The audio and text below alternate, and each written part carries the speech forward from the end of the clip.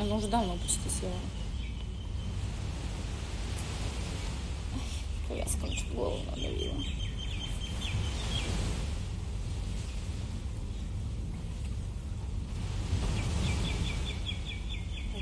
Еще.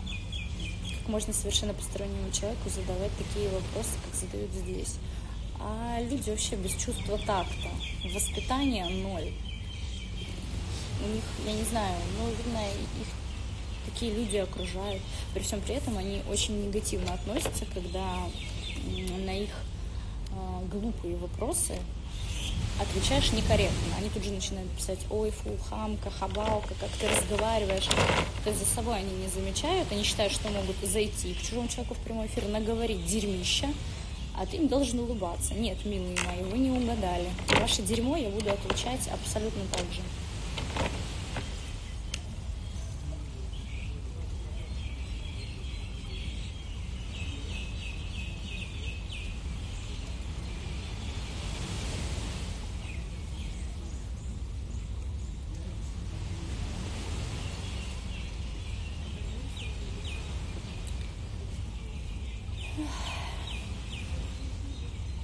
Юлечка, ты очень красивая, настоящая, спасибо.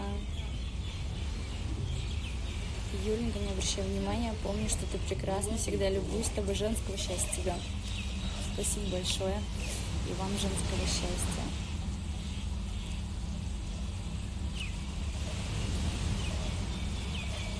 Юлька, привет из Одессы. Одессу обожаю, всегда про это говорю, с удовольствием а, приеду еще, только появится воз- возможность. Это не море шум, это бассейн, ребят.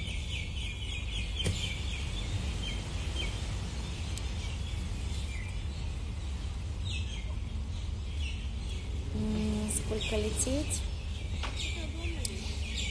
Господи, может, часов 11? Не помню. Девичья фамилия Кириенко.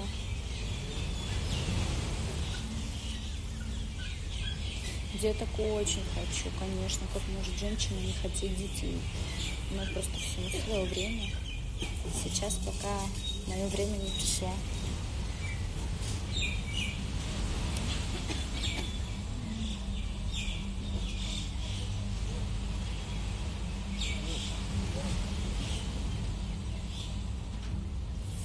Марго подруги или просто так сняли клип. Ну, мы до клипа общались, а, вместе ходим, посещаем какие-то места, а, летали на совместный отдых. Естественно, если человек не является для тебя близким, то вряд ли ты будешь такое большое количество времени с ним проводить. Юля самая красивая. Спасибо. Мне нравится, как ты всегда держишь свой гордый женский взгляд. Офигенно, так и надо. Умничка, фигура супер. Спасибо большое, мои милые.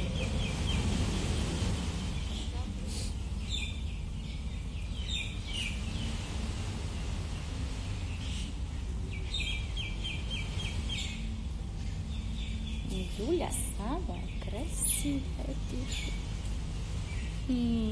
Это очень мило.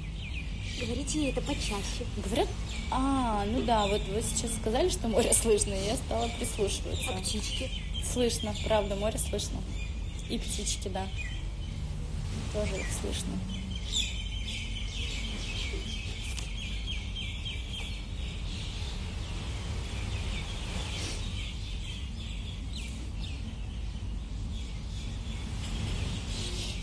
Волос нарощенный.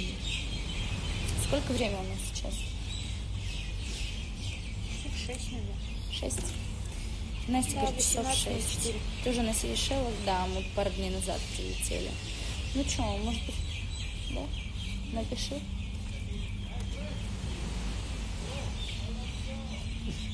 На заднем плане, ну, не знаю, человек, который убирает. Хорошо.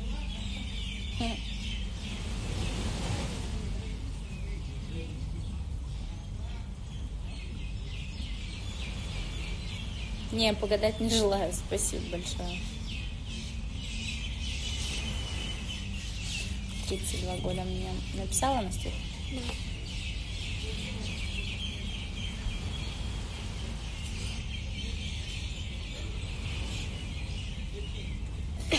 Ой, приехали мы надолго, даже пока не буду говорить насколько. Юля самая лучшая ведущая. Какие планы на сегодня? Ну, мы уже поработали, поэтому сейчас поедем домой кушать, Делать кальян. делать кальян и, Процедуры для и волос. красить волосы будем.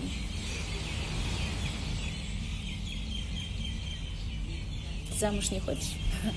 У меня нет такого э, хотеть или не хотеть выйти замуж. Это как-то, мне кажется, глупо. Когда ты любишь мужчину, ты автоматически видишь с ним семью, свое будущее, там, совместных детей. А быть его женой, ну, это как, как бонус, как дополнение, что вы семья, что там, вы не просто два молодых человека, которые встречаются. Но вот именно ставить цель выйти замуж, я считаю, когда женщина а, видит себя только матерью и женой, но это печально.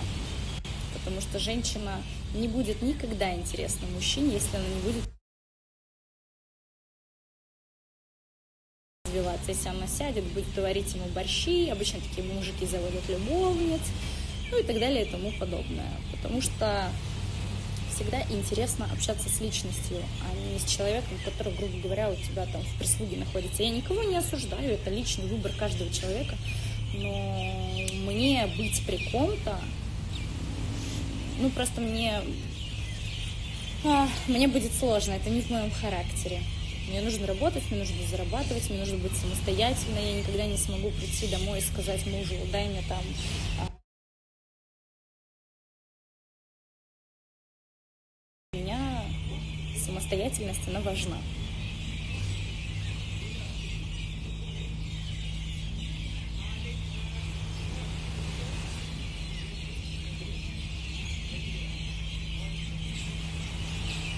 От Мандезира будут очаровательные детки. Мгм. Кучерявый. Не реагируешь на мои комплименты. Простите, я не видела.